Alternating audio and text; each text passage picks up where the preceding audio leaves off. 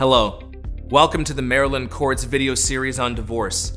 In this nine part series, you'll learn about the process used by the court to end a marriage. This video covers alimony or spousal support. This is the court process that will determine whether one spouse will make payments to the other spouse after the marriage has ended. The goal of these payments is to help the spouse receiving them to become self supporting. We will talk about three types of alimony pendente lite, rehabilitative, and indefinite. We'll also discuss factors the court must consider before awarding alimony in a divorce case. We'll go over the importance of timing when asking for alimony and examine how to terminate or modify alimony cases. Finally, we will briefly talk about some tax consequences. This series talks about divorce only. If you would like the court to end your marriage and establish custody of the children you and your spouse share, you should also view the series on child custody. You'll be learning a lot of new material and some of it can be quite dense. Consider using the tip sheet and taking notes. Let's get started with a look at the three types of alimony. Pendente lite alimony refers to temporary support payments made before the court grants a final divorce.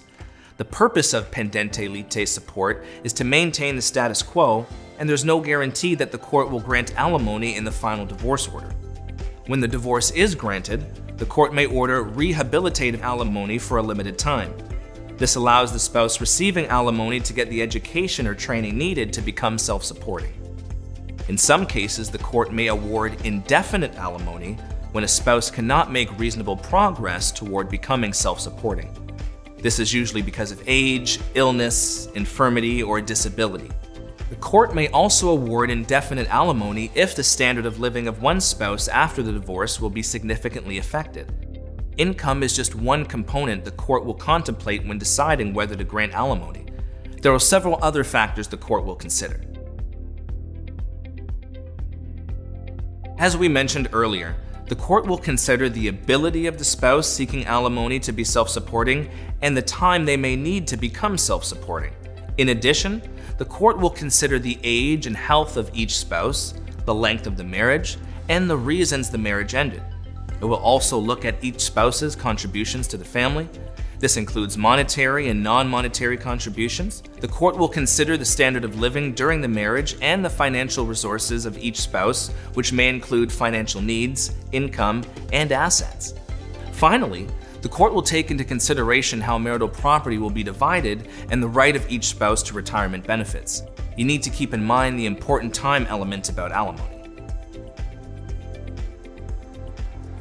The court will award alimony only before your divorce is final. If you and your spouse do not ask for alimony as part of the divorce case, you cannot come back later after your marriage is ended to ask the court for alimony. It is a long standing rule in Maryland that your right to ask for alimony is extinguished at the moment your marriage ends.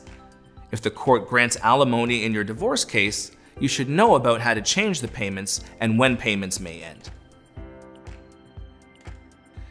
There are three ways alimony payments may terminate death, remarriage, or to avoid a harsh result. Alimony will no longer be paid if either spouse dies. Also, if the spouse receiving payments remarries, the other person is no longer required to pay alimony unless the spouses have agreed otherwise. Finally, the court may terminate alimony payments to avoid a harsh result. Alimony payments may be modified if there is a material change in circumstances, but there are exceptions.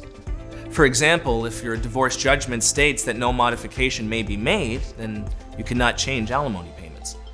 Finally, it is important to understand the tax consequences of alimony. A spouse who pays alimony or spousal support cannot deduct those payments from income.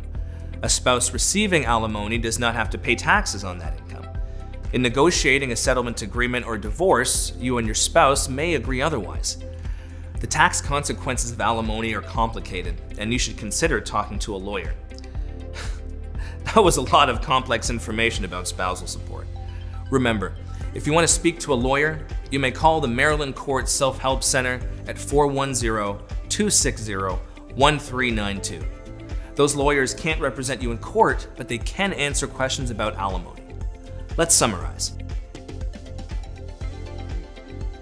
Remember, there are three types of alimony pendente lite, rehabilitative, and indefinite.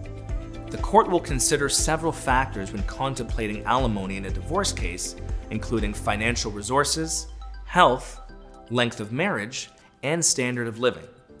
If you want to ask the court to award alimony, you must ask before the marriage has ended. Alimony may end if one spouse dies, remarries, or the court issues an order. You may modify alimony if there is a material change in circumstances. Finally, be sure to understand the tax consequences of alimony payments. Thanks for watching. On behalf of the Maryland courts, we hope this information about alimony or spousal support in divorce cases has been helpful.